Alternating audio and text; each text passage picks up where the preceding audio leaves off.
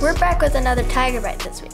Something to look forward to this week is a home basketball game for the high school boys on the 13th against Mountain Grove. The high school girls will also continue their amazing basketball season on Tuesday the 14th against Cabool.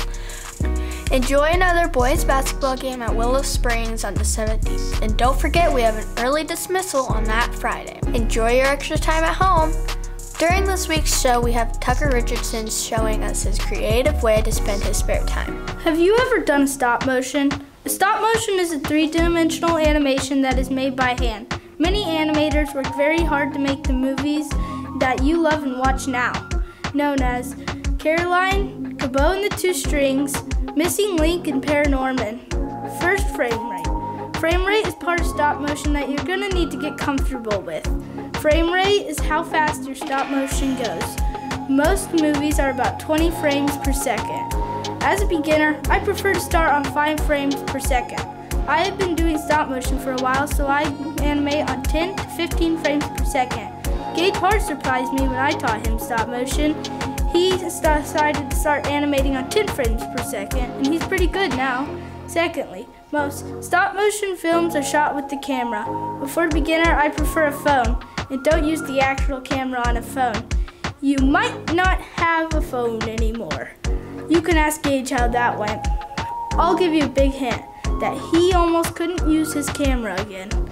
You can download an app on your phone called Stop Motion Studio. Thirdly, a good action figure is best for stop motion. When I say best, I mean all moving joint action figure.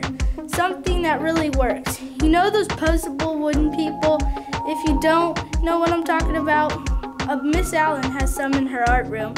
It works well if you want if you want to go to another level of stop motion. You need a DSLR camera and a computer. Now back to you in the newsroom, Riley. Thanks, Tucker. What a fun way to spend your time. Now to Emily Nunnery with her latest science experiment. Thanks, Riley. Hi, I'm Emily, and I'm going to tell you about how rocks get polished. Have you ever heard of a polished rock? If not, it looks like a regular rock, but with no sharp edges and an extraordinary look. Stuff you need is a strainer, a rock tumbler, extractions, grit, and rock to put it in. Make sure they are not too big. The first thing you do is put the rocks you chose and put them in the tumbler. Next you fill it with water just enough to cover the rocks. After that, you put the grit in. Dump the whole thing in if it's a small bag. In a jar, put two tablespoons of grit in the tumbler. Shut the lid tight and put it on the bottom of the machine. Set it to the shown number of days in instructions. After your days of patience, open the lid and if you do it correctly, there will be gray, watery goo. And this is where the strainer comes in, unless you want to get messy.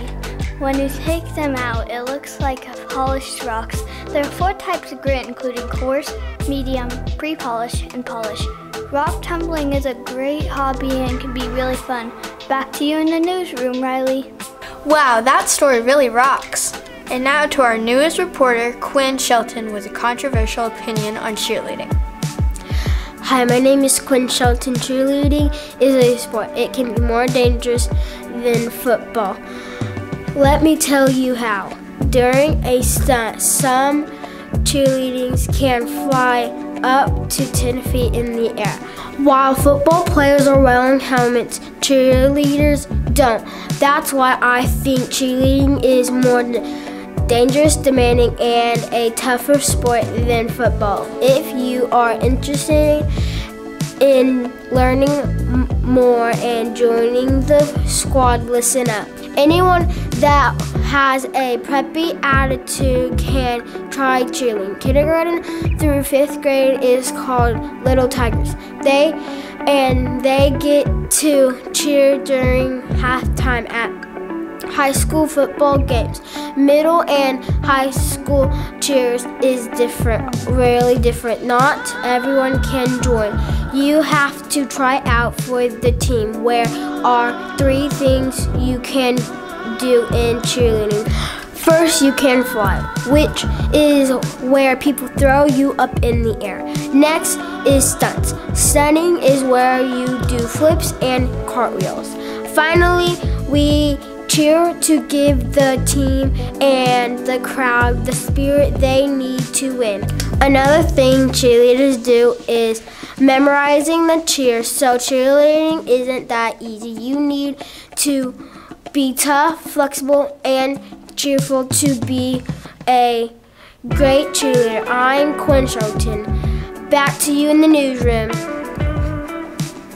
Thanks, Quinn. That was a very cheerful story.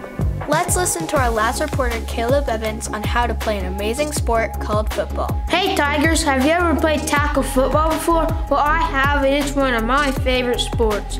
My position is left guard, and on defense, left and right tackle, along with DN, and that is my the position where I sacked my first quarterback, Sailor. I blew through the line and got him. My team and I went 6 0 undefeated. These are three tips to be a good football player. First, you have to know how to block. Next, you have to be able to tackle. A lot of people who think they know how to tackle, but they are doing it so wrong. You have to get below the knees to get them down. Finally, you know you have to know how to read plays. Sometimes it is difficult to know what they say because they are a bunch of lines. I like football because I get to hit people. I, I think that you should join the Houston Mighty Might football team. When I get older, I want to make it to the Houston High School football team. With the people who play football now, I think we will have a championship football team. I'm Caleb Evans. Back to you in the newsroom. Thanks, Caleb. I hope to see you playing in our district's championship in the future. And now to Elena Williams with another accurate weather broadcast. Forecast for the week.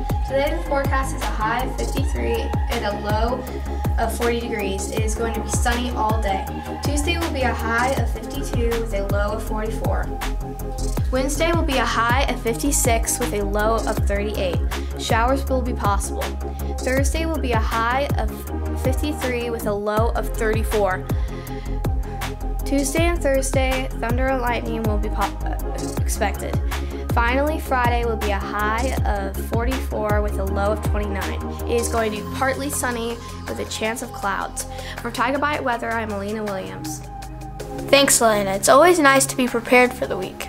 And now a message from all of us at the Tiger Byte. Thanks to all the teachers and all the students for watching the Tiger Byte and supporting us. Thank you, lunch ladies, for making such great food. Thanks to the online community for continuing to support the Tiger Byte. For watching!